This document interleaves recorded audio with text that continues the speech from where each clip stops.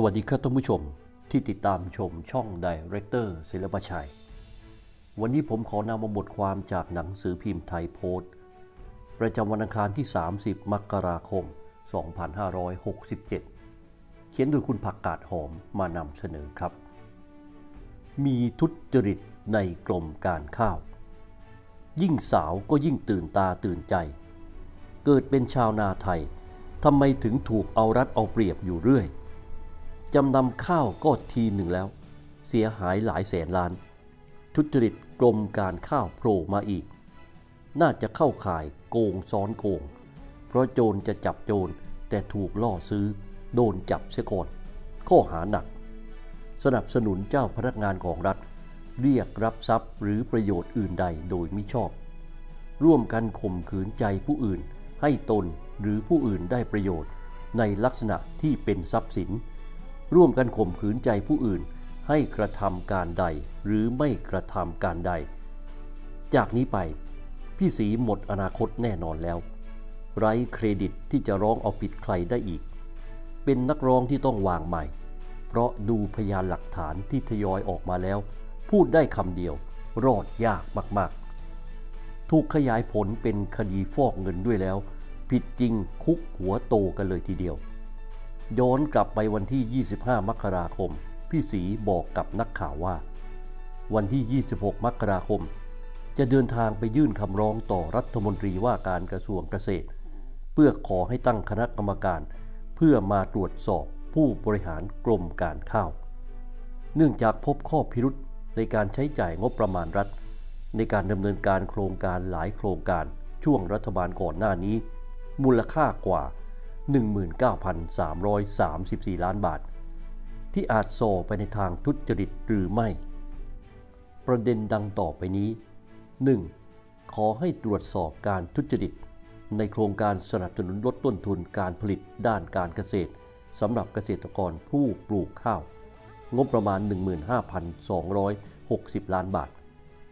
2. ตรวจสอบการทุจริตในโครงการส่งเสริมการเปลี่ยนเมล็ดพันธุ์ข้าวปี งบประมาณ 20,000 ล้านบาท 3. ตรวจสอบการทุจริตในโครงการปรับปรุงการผลิต และกระจายเมล็ดพันธุ์ข้าว งบประมาณ 1,200 ล้านบาท และ 4. ตรวจสอบการทุจริตในโครงการส่งเสริมการลดต้นทุนการผลิตข้าวรักโลก BCG โมเดล วงเงิน 874 ล้านบาทเป็นต้น วันนั้น พี่สีขู่ว่า พบมีบุคคลใกล้ชิดของผู้บริหารกรมการข้าว อาจมีผลประโยชน์ทับซ้อนกับแก๊งตีนไก่เถื่อนด้วยหรือไม่ เพราะมีการทำกิจการปศุสัตว์ ฟาร์มไก่ขนาดใหญ่ มูลค่าหลายร้อยล้านในจังหวัดลบบุรี อาจมีการปกปิดบัญชีทรัพย์สิน หรือแจ้งบัญชีทรัพย์สินอันเป็นเท็จด้วยหรือไม่ 26 มกราแทนที่พี่สีจะไปร้องรัฐมนตรีว่าการกระทรวงเกษตร กลับถูกรวบตัวเสียเอง สีสุวรรณเห็นอะไรในกรมการข้าว อะไรที่เป็นช่องให้ตบซับได้ ปกติกรมการข้าวมีเรื่องอื้อฉาวอยู่บ่อยครั้ง โดยเฉพาะประเด็นเมล็ดพันธุ์ข้าว มีข้าราชการนักการเมืองร่วมกันโกงอย่างเป็นขบวนการ ต้นปีที่แล้ว นัฐกิจของทิพย์อธิบดีกรมการข้าวบอกว่า พบทุจริตสองโครงการ คือโครงการส่งเสริมการลดทุนการผลิตข้าวรักโลก BCG โมเดลและโครงการส่งเสริมการเปลี่ยนเมล็ดพันธุ์ข้าวปี 2566 พบว่าได้มีการนำชื่ออธิบดีกรมการข้าวไปแอบอ้าง เพื่อแสวงหาผลประโยชน์ น่าเสียดายที่ผลสอบวินัยแพ่งอาญาข้าราชการกรมการข้าวไม่ปรากฏเป็นข่าว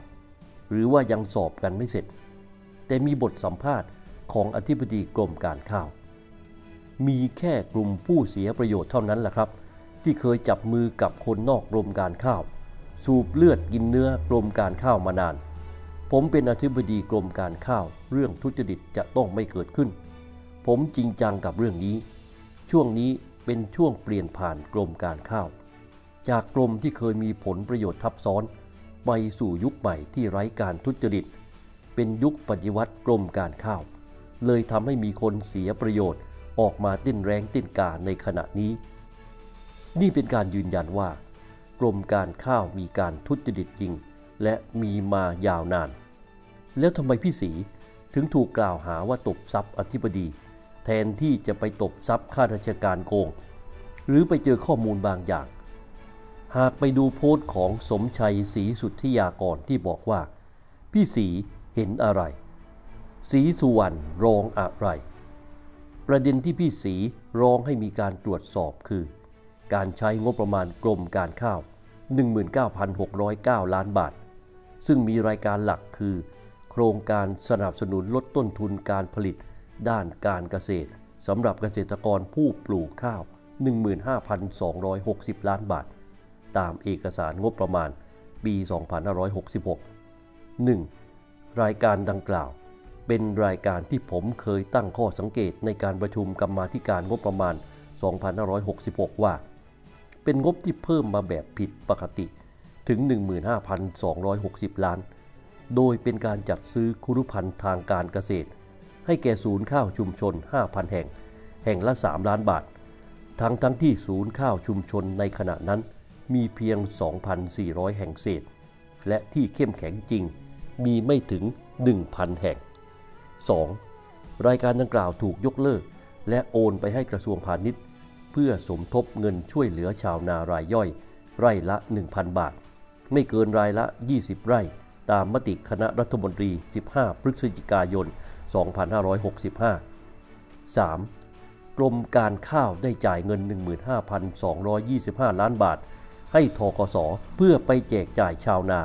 ตามมติคอรมอ ท่ากับกรมการข้าวมีแค่ตัวเลขงบประมาณ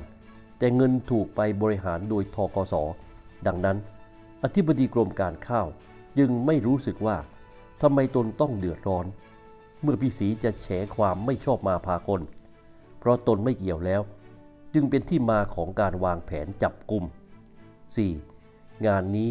จะมีเบื้องหน้าเบื้องหลังอะไรอีกยังไม่ทราบ ทราบแต่ว่า พี่สีที่เคยร้องเรียนเรื่องต่างๆ มาตลอด คราวนี้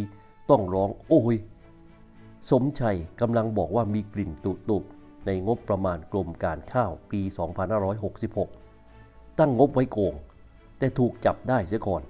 แล้วถูกโยกงบประมาณไปให้หน่วยงานอื่นแทน ถ้านี่คือการเตรียมโกงลำพังระดับอธิบดีน่าจะทำไม่ได้ ต้องใหญ่กว่าอธิบดี แต่เมื่อเทียบกับคำร้องที่พี่สีจะไปร้องกับรัฐมนตรีว่าการกระทรวงเกษตร ก็ไม่ตรงกับที่สมชัยตั้งข้อสังเกตไปเสียทั้งหมด จุดที่น่าสนใจคือ ทั้ง 4 โครงการที่พี่ศรีจะยื่นให้ธรรมนัฐพรมเผ่า เป็นโครงการที่เกิดในยุคของเฉลิมชัยศรีอ่อนทั้งหมด ไม่ได้หมายความว่า เฉลิมชัยศรีอ่อนจะรู้เห็น แต่เรื่องดูจะบานปลาย เมื่อทนายของอธิบดีกรมการข้าวเปิดตัวละครใหม่ ขณะนี้มีนักการเมืองตัวย่อนายปอ ซึ่งเป็นอดีตนักการเมือง และเคยดำรงตำแหน่งเป็นผู้บริหารกระทรวงเกษตร ได้ติดต่อมายังอธิบดีกรมการข้าว และภริยาของอธิบดีกรมการข้าว ฝากมาบอกผมให้เบาๆหน่อย และให้ยุติบทบาท ไม่ทราบว่าปอนไหน แต่หากจะขุดรากถอนโคนคอร์รัปชันกันจริง ๆ ต้องเอาไปอยู่ในสำนวนคดีให้ได้ ตอนนี้พี่สีถูกมัดตราสังไปเรียบร้อยแล้ว หากอยากจะหลุด พี่สีต้องลากแก๊งตีนไก่เถื่อนเข้ามาด้วย จะเกี่ยวกับเฮียเกาหรือเปล่าไม่ทราบ แต่ยาวครับ จากกรมการข้าวไปกรมปศุสัตว์ คดีนี้หากปปชเอาจริงเล่นต่อจากที่พี่สีจุดฉนวนไว้ รับรองยกเข่ง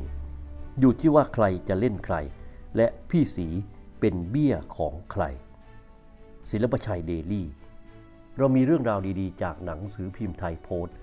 เขียนโดยคุณผักกาดหอมมานำเสนอทุกวัน สวัสดีครับสำหรับผู้ที่ชื่นชอบกระเป๋าผ้า ซึ่งทำจากผ้าทอญี่ปุ่น และผ้าลิขสิทธิ์ เน้นความประณีตสวยงามอย่างมีระดับ เป็นงานทำมือ นับได้ว่าเป็นงานหนึ่งเดียวในโลก เพราะแต่ละใบจะไม่เหมือนกัน นอกจากนี้แล้วเราสามารถออกแบบและตัดเย็บให้ได้ตามที่คุณต้องการ สวยทุกใบ เพราะใช้ใจทำ มีเพียงใบเดียวที่เป็นเอกลักษณ์ส่วนตัวของคุณ สนใจ สอบถามและสั่งซื้อได้ที่ k o m Studio โทร 091 853 4455 ส่งทั่วประเทศ